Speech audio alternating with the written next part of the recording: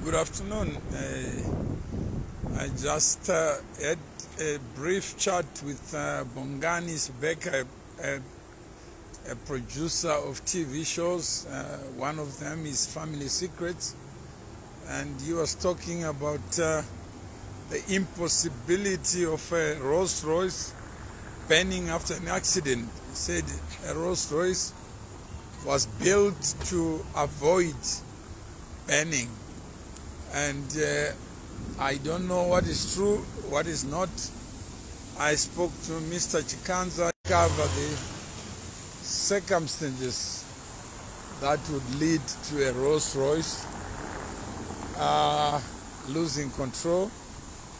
So that's uh, that was the case with uh, Mr. Bongani, who says no, he has never heard of an accident involving a Rolls Royce and uh, burning being part of that accident. What is your own check? I searched and couldn't find any example of an accident of this nature taking place and then a Rolls Royce burning. And uh, Bongani was saying, Tata, yes, a Taz, yes, a small comfortable, but not a Rolls Royce. Who knows the truth in this? These are the questions that are coming up, and uh, the questions come from a suspicious mind that believes that nothing can happen for no reason. There has to be something behind it. Do you think this accident was no accident or genuinely it was an accident? What is your take? When Simba asked me, I had no answer. All I said, if somebody's died, that's uh, the end of it. The moment I get into a superstitious mode, then obviously something comes. So what does that mean then, Mr. Mawere? I don't know what it means. But there are people who think there's more to the story than just an accident. There are people who think uh, this uh, uh, is something that has to be investigated. Impact can cause it to burn. I don't know, Trish, but uh, there are people who are persuasive, who know the car better than I do. It was an accident. How things ended up burning, it's for experts. I don't know, and the doors too. I don't know what. Uh, are the exact circumstances, but there are people who know a phantom and uh, they are saying, no, it's unusual. it led me to think, and I'm no wiser than I was before the questions came up. But all I can say is uh, the people who know the car and uh, who can vouch for it. And they're saying, no, uh, it's very difficult to uh, convince a Rolls Royce, even after impact, to end up burning. vakavhurirwa tangi kudreams petrol leaked then fire i don't know the heather seems to know something but uh, I don't have the facts. So all I wanted to do is just to share with you so that you can then apply your mind and uh, see whether what is being said makes sense. Does it make any sense? Is the same engine for plane? Yes. and uh, what uh, what do you think? Is it good to be superstitious? Is it good to be speculative? Is it good after someone's loss of life for us to dig deeper into an accident? chinhu chese zvikonzero that's what superstition does all of many people are very superstitious including me death cannot happen on its own somebody has to cause it i think it was just about time He rest when your day arrives. You can't run away or avoid death. You can't cheat death. It's not possible to cheat death. Both doors would not be open. That's what they are saying. Life does not make sense, and we can never know and never come next to the truth. Uh, it's not good to assume but uh, assume you don't assume. What then follows? Human beings and assumptions, uh, superstition, they are friends. The human mind lives in the knowledge of death, yet it's difficult to accept death as inevitable and sometimes predictable. What is the meaning of superstition? superstition, I think you can find it in this day of uh, the internet. And uh, superstition is what it is. Why not call Rolls Royce for, uh, uh, for clarity? Yeah, you got a point. I think people are already calling, there's a conversation around it. Every death if it's of a human being, it creates its own conversations. If it's an animal, we eat it. But if it's a human being, there has to be a story behind the story. There are people giving up valuable time to discover that which happened in any event without their knowledge and consent. And uh, some will call, no doubt, and the story is developing, and we will hear different versions of it. And obviously, if you are the maker of Rolls Royce, you wouldn't be excited to hear what is being said of the car you made proudly to protect and promote life, good life, happiness. So there is a lot of talk, bad marketing. Some would say good marketing. What happened on that fateful day? I don't know. I wasn't there. And therefore, the only thing I can do is imagine the unimaginable. But at the end of the day, life was lost. Like all of us, we will lose life one day. And when we get buried, there will be talk, there will be discussion. Why now, not tomorrow? Why did this happen? And why could life be not have been different? They can claim like what Paul Walker did with Porsche. Yes. So this is what you have, human beings, speculation, and uh, possibly superstition that uh, is very difficult for anyone to say they don't know. What's your take? Initially, I said death is death. It has no formula. It has no science. It has no pathway. It's just what it is. When I die, I hope people will also talk and try to find meaning why life must end and why life must end the way it does But when you are born, death is certain. You can't cheat it. There are far people in history who have been more important than I, but still they couldn't cheat death. So all of us live in the shadow of it. We are Africans. We are bound to have superstitious minds. Indeed, not just civilization permits us to assume, presume, even imagine reality.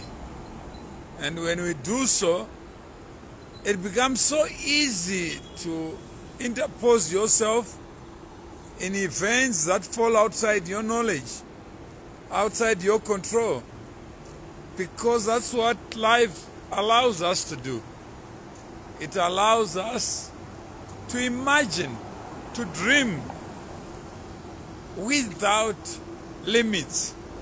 Death is death, but we want now if it is was an accident or someone did kill them. I don't know, but uh, the facts and circumstances overtaking two cars ahead, underestimating on an oncoming vehicle, and uh, then getting into an accident. And uh, I think uh, the circumstances are there, the facts are there, and uh, who am I to dispute what is now history? Had he paid you back the 500,000 he was owing you? Nope, he never paid. And I think uh, everybody who spoke to me, who had spoken to him, everybody who spoke to him, he always said he was going to pay and he was going to pay in due course. But I, I think he died uh, trying to find his way to me uh, to pay back. His issue was that if he had paid what was due, the amount was going to be higher than what he thought I was worth. He thought that uh, if you give me $1,000 today and you should only charge interest on it. And this is what uh, the human mind thinks. It's very easy to take someone's money and assume that uh, you must charge interest because uh, we can keep the return like a bank gives you a mortgage you live in the house for 25 years and uh, it becomes your house. All you need is to pay the bank what is due to the bank. So there is an aspect of it but uh, here we're not talking about that. We're just talking about this accident. What are the facts known to us? And uh, what is our imagination? One day Zim will look nice like this. I hope so. Vonnie it doesn't happen accidentally. Uh, he should have paid uh, akaporonga ipapo akafa nechikwereti yes uh, but when you are alive you never think you are going to die. I don't think it's possible for him to have thought that he was going to die so early.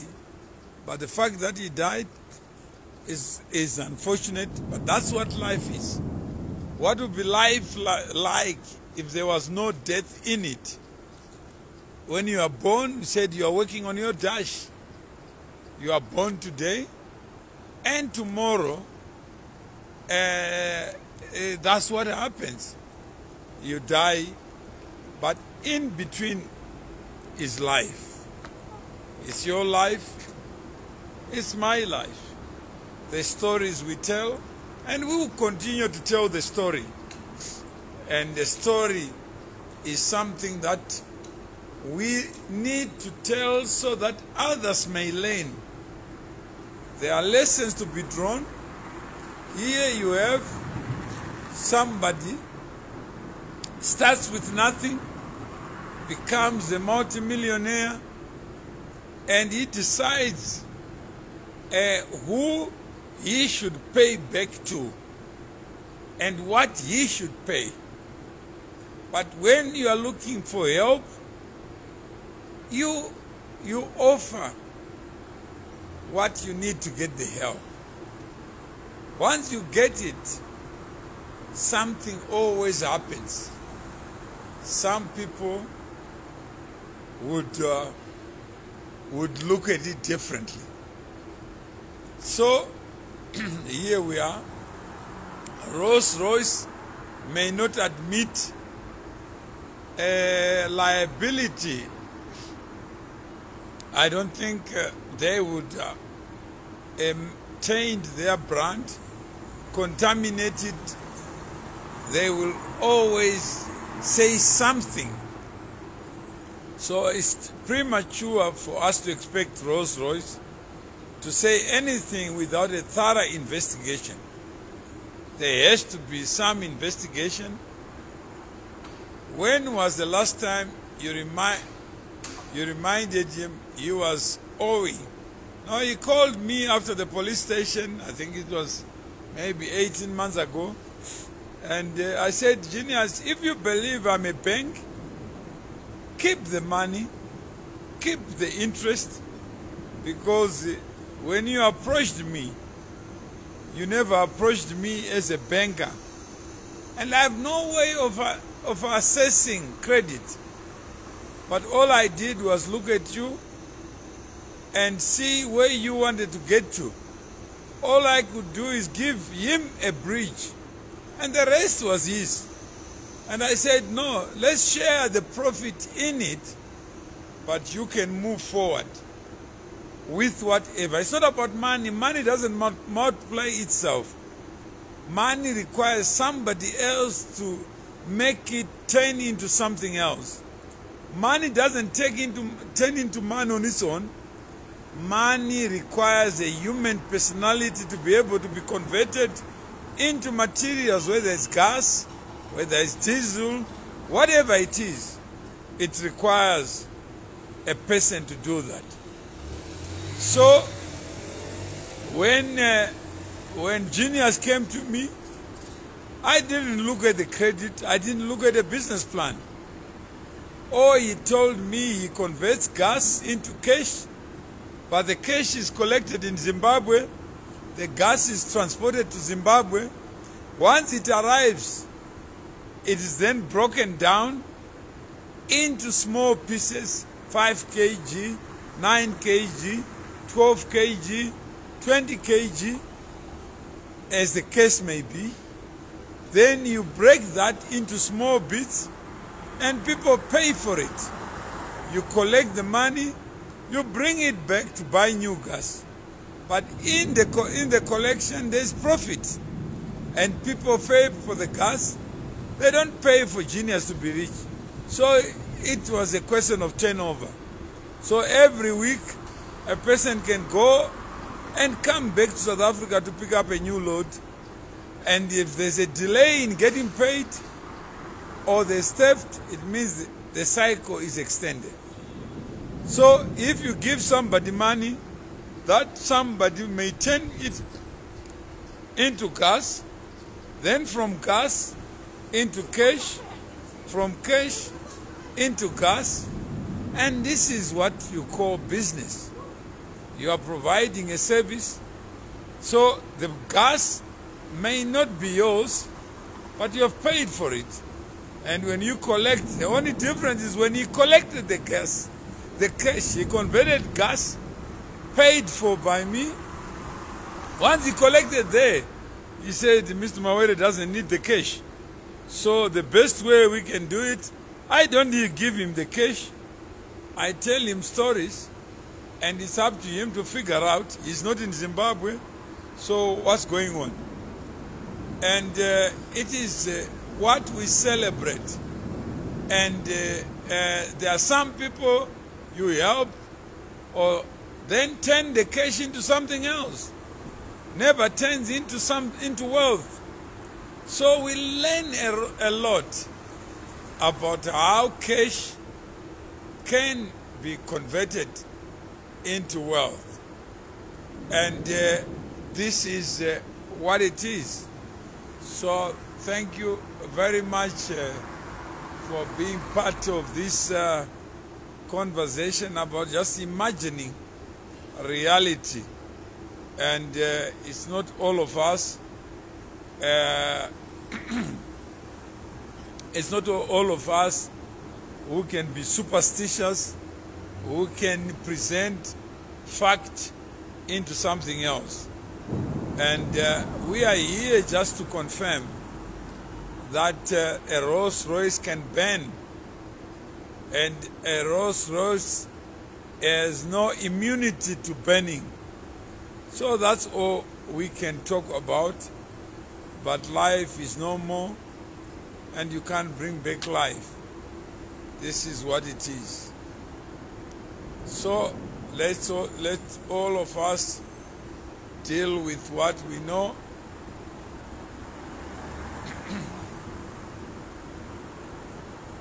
so thank you very much for being part of this. That's uh, my update. If uh, Simba Chikanza asks me again, I'll know what to do. And uh, I was just talking about something else, and some people Baba Wapinda into the conversation. As uh, the case may be, I was talking about uh, Anne Marie here with uh, Mr. Singh, who owns the Royal India uh, restaurant, and uh, we're just doing a pilot here.